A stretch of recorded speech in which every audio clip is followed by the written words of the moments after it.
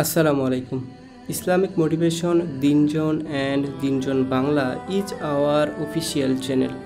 Visit our description box and pin command to buy some Islamic products.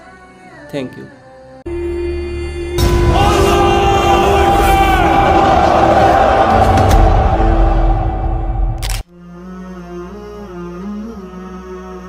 إن المؤمن إذا كان بانقطاع من الدنيا The believing person when he is about to depart from this world to be detached from the world وإقبال من الآخرة and he is almost about to go into the hereafter نزل إليه ملكان بيض الوجوه كأن وجوههم الشمس Two beautiful angels will come down from the sky.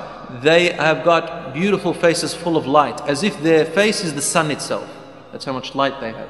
ومعهم حنوط من الجنة وأكفان من الجنة They have perfume from paradise and they have shrouding a shroud from paradise.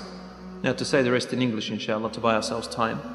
And then they wrap him and they place the perfume in him and the angel of death is there and he says to the soul of the believer come out come out to a pleasure from your Lord come out come out to a to a luxury that you are going to receive from your Lord أيتها الروح الطيبة O beautiful pure soul The Prophet ﷺ said the soul of the believer comes out, or the angel of death takes it out in this way, just like water spilling from a jug. Can you imagine water spilling from a jug? How does it spill out? You can see it. it spills out softly, smoothly, purely, beautifully. There are no obstacles in coming out. Kafiy siqa, or the, or I don't know if you have it. I mean, Lebanese have this, and I think Turkish people have this they drink with it like this up and the water sort of comes out of the nozzle. Have you ever seen that? It's got a nozzle that comes out. It comes out beautifully huh? there's water coming out like a fountain. So it says the soul comes out as smoothly as that. What a description. And the two angels they don't allow the angel of death to hold it for long at all. For as soon as they can they take the soul off him and they place it in this beautiful shrouding and perfume from Jannah. And they climb up with it into the heavens. And every angel that it passes by, because there are angels everywhere on earth, in between the skies, as you're going at the first level, everywhere. Angels are, are uncountable. And each time it passes an angel or a group of angels, they say, Man هذه الروح الطيبة? Whose beautiful soul is this? And the angels who are carrying it will say, Fulan ibn Fulan, so and so son of so and so بأحسن الأسماء الذي كانوا يسمونه بها with the best names that he was ever called with on this earth and they will welcome it until it reaches the first heavens or the first sky and it has the first skies of gates only Allah knows how these gates are and what their nature is but there are gates how much do we know of the universe and the black hole and the stars we, we hardly know anything what's up there لخلق السماوات والأرض أكبر من خلق الناس Allah says the creation of the universe and the earth is, is much bigger, bigger and more phenomenal than the creation of the human body. The angels, there are angels at the gates of the first sky. And they say, Who is this soul for, this beautiful soul? And they'll call, call it by its beautiful names. And they ask for the gates to be opened for it. And the gates will be opened. And then it reaches the second. And every time it passes by, by a, a, group of angels, they'll say the same thing and welcoming it. Imagine that, ya akhwan. You've just now departed from the world and there is a welcoming from a creation made of light. There is no darkness in there. There is no hatred. You are the famous one. You are popular among these enormous creatures, beautiful creatures you've never eyes laid on. And no one else can see this. And if we hadn't been told by Allah and His Messenger, we wouldn't have known this reality. We only say what Allah and His Messenger tell us for we believe in what they tell us of the unseen. It says it reaches a point very high. In some hadiths it says that Allah subhanahu wa ta'ala says to them, Take this soul so it can see its kingdom and its property in heaven. And then by the time the body is prepared for burial, the soul, Allah subhanahu wa ta'ala orders them to return the soul back. This is in the hadith of the Prophet. I'm continuing. He says, Take it back. فَمِنْهَا خَلَقْنَاهُمْ وَفِيهَا نُعِدُهُمْ مِنْهَا نُخْرِجُهُمْ تَارَةً أُخْرَى from the soil we created the body and to them, and to it we will return them, and from it we will resurrect them once again. Return the soul back to the body. It's going to be questioned in the grave. And they return it into the body. Prophet ﷺ said, Then two angels will come to him. Munkarun wa nakir. Munkar wa nakir. It is an Arabic terminology of creatures that are unknown, unidentified, unknown. Munkar, meaning don't, don't know what it is. Nakir, even more unknown. Munkar, nakir. One that has never been thought of or imagined. Nakir, another one that has never been known or identified. They're just different expressions the Prophet ﷺ gave. Munkar wa nakir. You cannot tell what they are. Can't, their images is, is horrific. It's unbearable. And you, don't, you can't say what they are. You just say they're creatures of some sort. Some of them will see, see them monstrous, monsters. They are quite horrific, munkar wa nakir. They look the same for the believer and the disbeliever. But the difference is for the believer, Allah says in the Quran, أعوذ بالله من الشيطان الرجيم بسم الله الرحمن الرحيم يثبت الله الذين آمنوا منكم بالقول الثابت في الحياة الدنيا وفي الآخرة Allah subhanahu wa ta'ala strengthens and makes firm those of you who believe in Allah.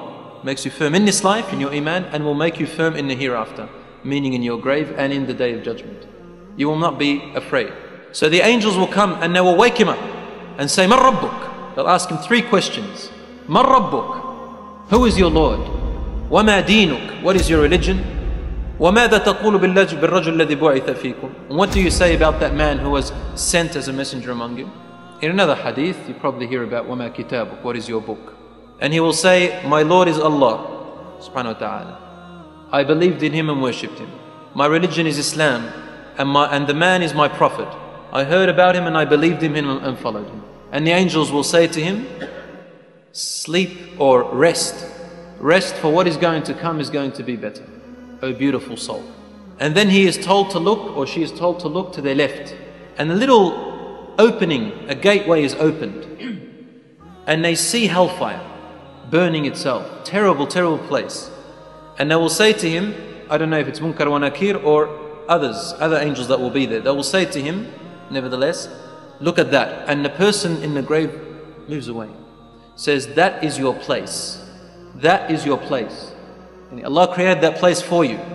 But because you chose to obey Allah subhanahu wa ta'ala, you have saved yourself from that place. You will never go in there. And they close it. See, Rasulullah told us that every person has a place in heaven or hell. And whichever one you hold on to is the one you earn. Then they open a door from the right. And he sees paradise, palaces, beauty, nur, undescribable beauty. And he loves it. And they say to him, This is what is awaiting for you now. You have earned it and you are going there. This is your kingdom. But as soon as he sees that, the Prophet says, The person in the grave says dua, makes a dua, says, Allahumma Rabbi aqim as-sa'ah. Ya Rabbi aqim as-sa'ah. Oh my Lord, let the world end. Let the world end hatta adhaba ila ahli wa mali. So I may go to my family and belongings in paradise. I want to go there. Please end it quickly. He wants the world to erupt so he can go there because of what he has seen. In another hadith, also sahih, where as they are in the grave, their grave opens up as far as they could see. And it is filled with a garden from the gardens of paradise. As the Prophet ﷺ told us, إِمَّا رَوْضَ وَالْقَبْرُ صُنْدُوقُ الْعَمَلِ as the poet says, based on the hadith. And then he said, وَهُوَ إِمَّا رَوْضَةٌ مِّن رِيَاضِ الْجَنَّةِ وَإِمَّا حُفْرَةٌ مِّن حُفَرِ النَّارِ It is either a garden from the gardens of paradise or a pit from the pits of hellfire. And a person comes to him and sits with the person in the grave. His face is full of companionship and, and lovely company. And you say to that person, Who are you? For your face is the face that brings khair. This is also in the hadith of the Prophet Sahih. فَوَجْهُكَ الَّذِي يَجِيءُ بِالْخَيْرِ Your face brings good fortune. It brings good news. You know, when someone comes to you with a smiley face and you say, Wow, you know, my, my heart opened up. I love your company. You only say good things, you compliment me, you give me good news. Contrast that to a person who comes with a miserable face and you know that he's got bad news for you. This person comes to you with good news. And you say, وَجْهُكَ الَّذِي يَجِيءُ بِالْخَيْرِ Your face is the face that brings only good news. And the person says to him, أَنَا عَمَلُكَ الصَّالِحِ I am your good actions, your righteous actions. Look, you've turned me into this beautiful company for you. And he says, أَنَا لَا أُفَارِقُكَ أَبَدًا I will never depart from you, I'll keep you company here. So you don't be lonely. In the hadith of the Prophet ﷺ, he says that Allah subhanahu wa ta'ala, one of the moments that he will be closest to his servant is when they are in the grave with no anis or jalis, with no companion of their family from this life, he will be very close to them to look after them. So when a person dies or passes away in your family or someone friendly to you, always remember that no one, a stranger has not captured him, he is not imprisoned, he is not kidnapped, but he is taken away by the most merciful Allah who created you and them. So he is in good hands. Assalamu alaikum. Islamic motivation, দিনজন and দিনজন Bangla is our official channel. Visit our description box and pin command to buy some Islamic products. Thank you. আসসালামু আলাইকুম। Islamic motivation, দিনজন and দিনজন Bangla is our official channel. Visit our description box and pin command to buy some Islamic products. Thank you. আসসালামু আলাইকুম। Islamic motivation, দিনজন and দিনজন Bangla is our official channel. Visit our description box and pin command to buy some Islamic products. Thank you. আসসালামু আলাইকুম। Islamic motivation, দিনজন and দিনজন Bangla is our official channel. Visit our description box and pin command to buy some Islamic products. Thank you.